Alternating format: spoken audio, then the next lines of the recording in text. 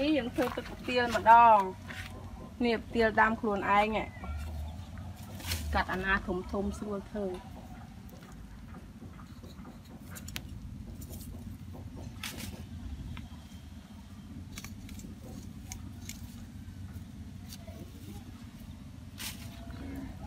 ទាធម្មជាតិជាធម្មជាតិនេះដាំខ្លួនឯងផ្ទាល់ហ្មង ចង់ធ្វើស្មានណាក៏បានដែរមិនបាច់ទៅទិញផ្សារអូបោះគេនៅផ្សារធំធំពីបោះឯងទៀតហ៎គេចេះដាំឯងចេះដាំឲ្យមុំមុំនេះបងប្អូនមើលតើឥឡូវយើងទៅធ្វើទឹកប្រទាលញ៉ាំទាំងអស់គ្នា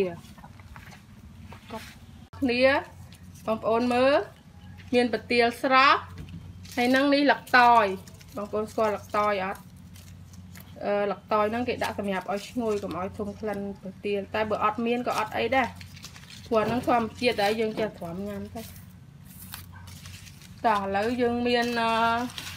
ស្ករស្ករ1គីឡនេះតែយើងមិនមែនដាក់ទាំងអស់ទេយើងដាក់តែមុំផ្អែមទេនេះទឹកមួយឆ្នាំង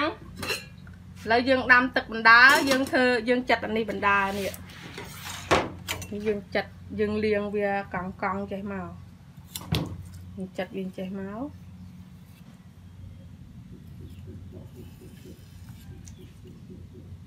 ចាត់ទៅចេះយើងចាត់អញ្ចឹងត្រាំទឹកវាសិន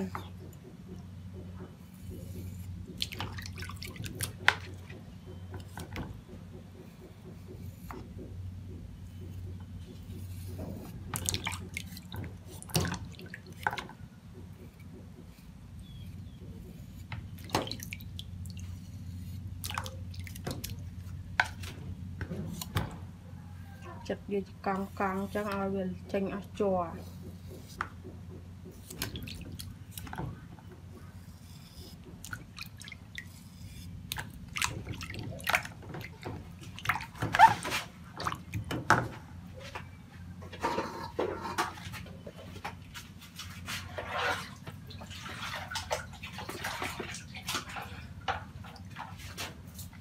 នេះយើងដាក់ទឹកថែមមកកតោទៀតលាងមកទឹកទៀត យើងចិត្តកង់កង់មកឥឡូវយើងចិត្តសបកវាចាញ់សបកវាចាញ់ចេះអត់ដៃទឹកខូនទៀតអត់ឃើញវាលឺទៅនេះវាចិត្តចេះឃើញទេចឹងយើងបានសាច់ទាលល្អហើយយើងត្រាំទឹកម្ដងទៀតបីឲ្យវាអស់ក្លិន ធ្វើអញ្ចឹងមក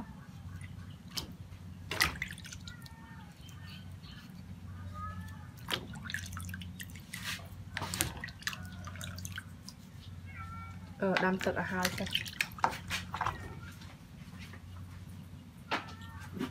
យ៉ា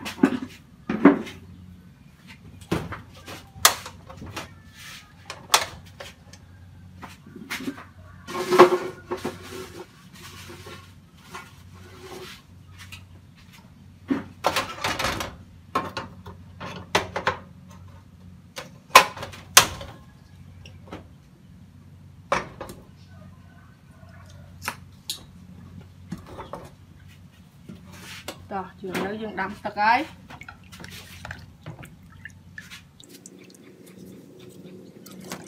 ទឹកឲ្យដល់សបក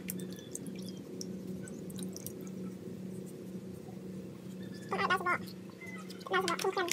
ទៅវិញ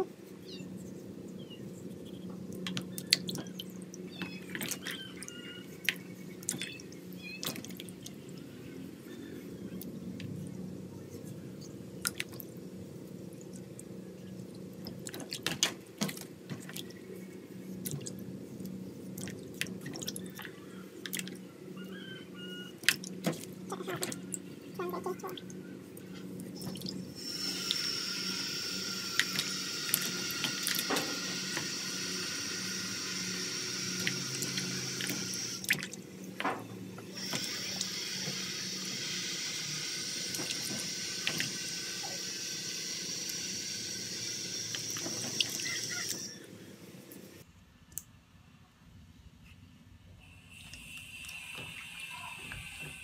ជាខ្លួនឯងចឹងញ៉ាំទៅដឹងល្អហ្មង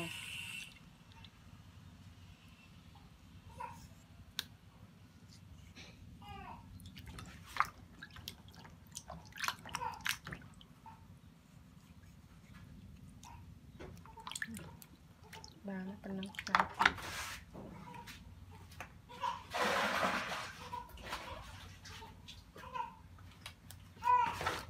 ហើយហើយយើងលាង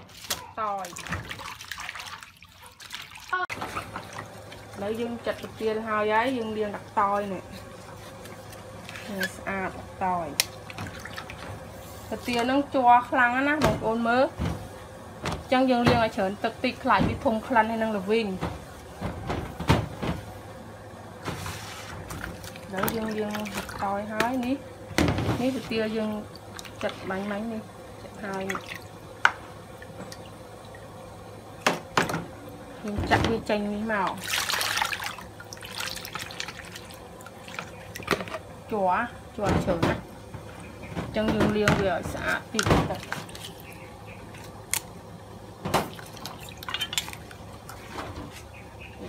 ទៀត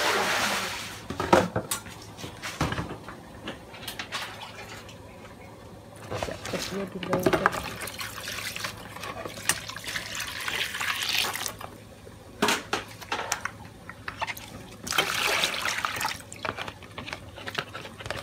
យើងលាងហើយយើងទុកឲ្យវាស្រស់ទឹកផ្លែ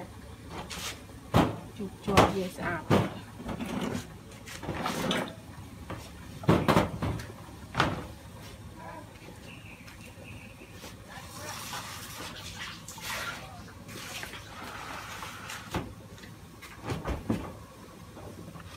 ទឹកពុះហើយ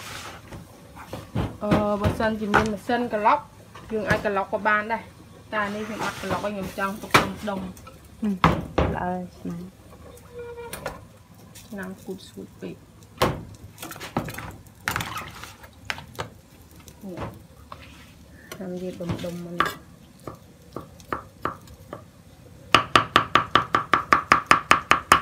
ធ្វើអញ្ចឹងមក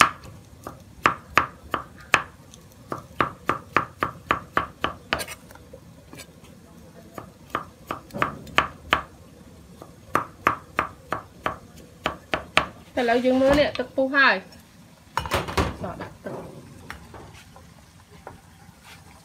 យើងដាក់ចូលទឹកហ្នឹងទៅ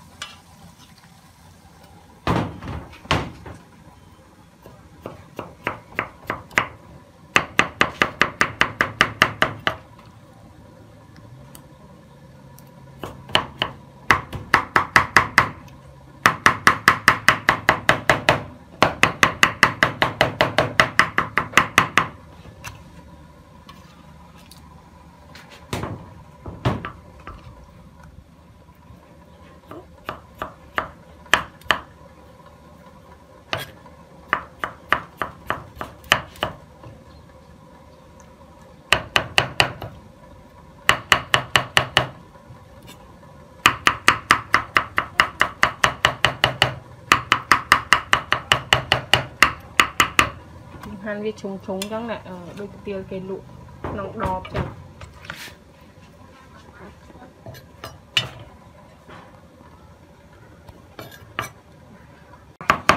តែឥឡូវយើងដាក់ចូលប្រហើយនេះមិញទឹកមិនតិចឥឡូវដាក់ប្រទាលទៅទឹកចិត្តធាឆ្នាំងនៅយើងចង់ធ្វើឆ្នាំងធំជាងហ្នឹងក៏បានដែរតែនេះអត់មានឆ្នាំងធំនេះចាក់តយើងលាងស្អាតដែរនេះមើលយើងលាងស្អាតដែរយើងចងវាចេះមក ទុកឲ្យវាស្រស់ទឹកសិនឥឡូវយើងអឺចាំវាពុះម្ដងទៀតសិនចាំដាក់ស្ករហើយអានឹងបានដាក់ឲ្យវាជិតឆ្អិនហើយព្រោះពពុះចាំនេះអស់គ្នាមើលពុះវាយើងដួសចេញអាហ្នឹងធំខ្លាំងណាស់ដួសចេញអស់ព្រោះពពុះចេញអស់ហើយយើងដាក់ស្ករបានហើយដាក់ ស្ករហើយយើងដាក់ល្ខោយទៅគឺមានទឹកកាទៀវដល់ឈ្ងុយបាត់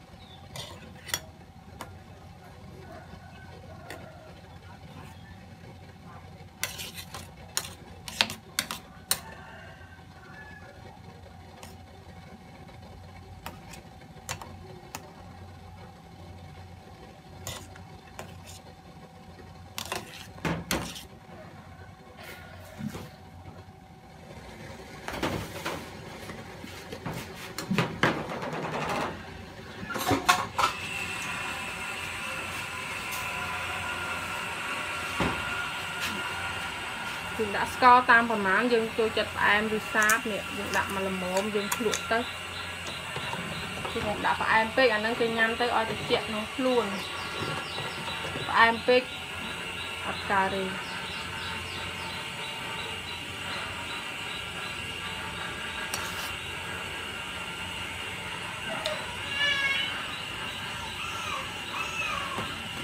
ទៀត មកទៀតល្មមនេះ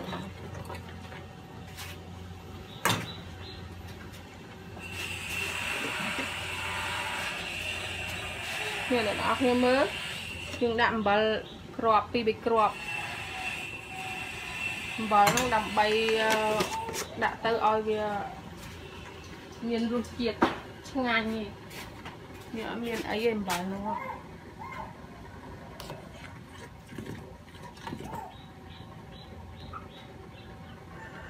ងអាណានេះយើងដាក់លឹកតយទៅតយហ្នឹងដាក់ឲ្យតែឈ្ងុយហ្នឹង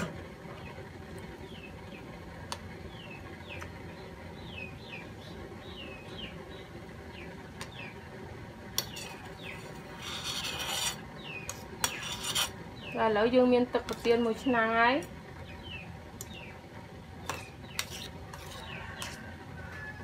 គុណអ្នកទាំងអស់គ្នាដែលបានតាមដានបើយល់ថាល្អជួយ Subscribe ផង